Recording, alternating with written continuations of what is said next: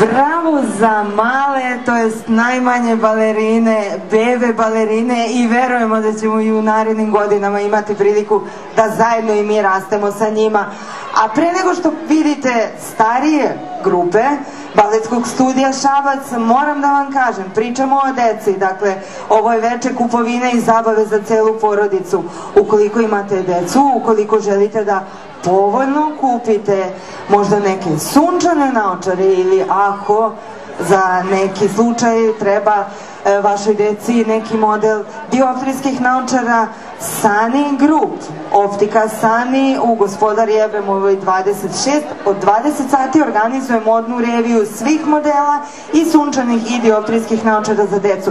Dakle, uz popust, a i poklon možete e, doći do nekog novog možda modela koji do sada niste imali, a baš za vaše mališane.